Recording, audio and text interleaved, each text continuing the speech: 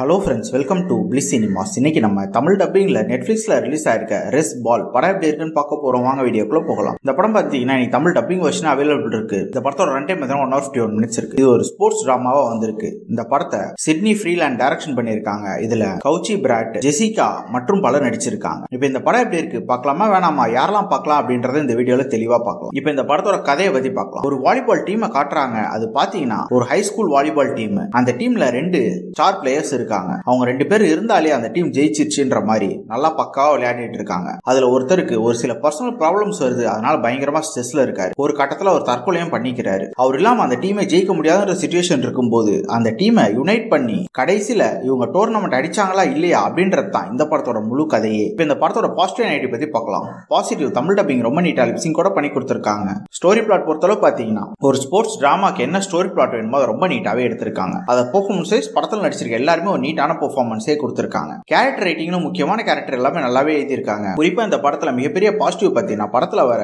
அந்த sports portion தான். அதெல்லாம் பார்க்கறதுக்கு ரொம்ப சூப்பரா நல்லாவே இருந்தது எங்கேஜிங்காகவும் இருந்தது. டெக்னிக்கல் ஆஸ்பெக்ட்ஸ்லயும் படம் நல்லாவே இருந்தது. சினிமோட்டோகிராஃபி சவுண்ட் எஃபெக்ட்ஸ் பிஜிஎம் எல்லாமே நல்லாவே பண்ணி கொடுத்துருந்தாங்க. எடிட்டிங் ஓரளவு நீட்டாவே பண்ணி கொடுத்துருக்காங்க. ஸ்கிரீன் பிளேஸ் பார்க்கும்போது பார்த்தீங்கன்னா படம் வந்து ரொம்ப ஃபிளாட்டா போகுது. படத்துல எந்த ஹை மூவ்மெண்ட்டும் கிடையாது. இவங்க பேஸ்கெட் பால் விளையாடுறாங்க. மற்றபடி எல்லாமே நல்லாவே இருந்தாலும் அதை எங்கேஜிங்காக கொடுக்கவே இல்லை இவங்க. ஸ்டார்டிங்ல இருந்து எண்டு வரைக்குமே ரொம்ப ஃபிளாட்டா தான் போகுது. அதனாலேயே நமக்கு பல சீன்ஸ் வந்து ப்ரெடிக்டபிளா இருக்க தான் செய்யுது ஓவராலாக பார்த்தீங்கன்னா இந்த படம் ஒரு ஒன் டைம் வாட்சபிள் படம் தான் வேணும்னா ட்ரை பண்ணி பாருங்கள் என்ன வீடியோவில் சந்திக்கலாம். தேங்க்யூ